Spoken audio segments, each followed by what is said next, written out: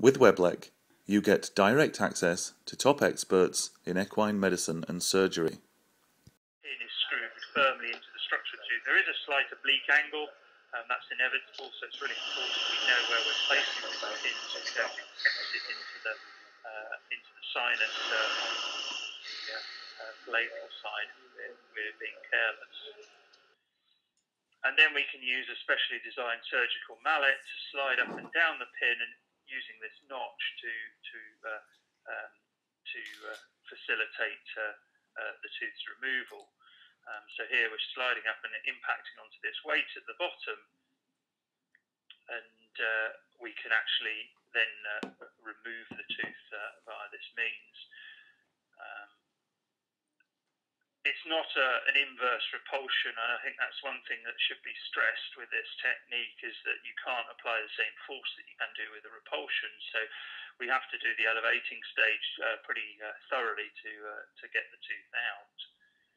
So here we are in a in a case that uh, was actually having bilateral fractured O9s extracted, and uh, we have the trocar through the cheek, and the pin is screwed into the tooth you'll, you'll slowly hear with the, the audio on this. Uh, Just keep it down. Um, we'll see uh, the tooth uh, coming out of the socket.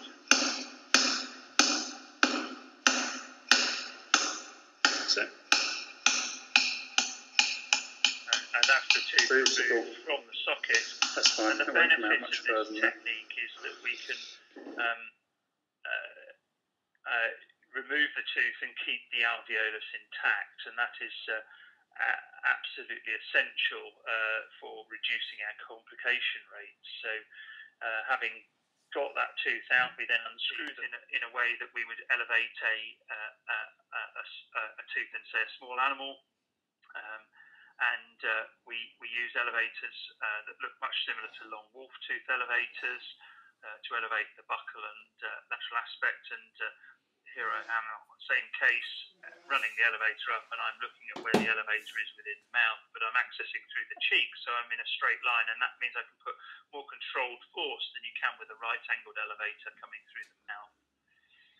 We then use uh, a, a, special type of spreading elevator between the teeth. We can't use conventional molar spreaders because there's no crown uh, height to, to use them against. And so uh, these uh, elevators have a, a wedge shape to them. There's different angles for different applications. And we pass these up into between the teeth, and then we can use a, a hammer with the aid of an assistant to advance the, uh, the elevator up between the teeth. Having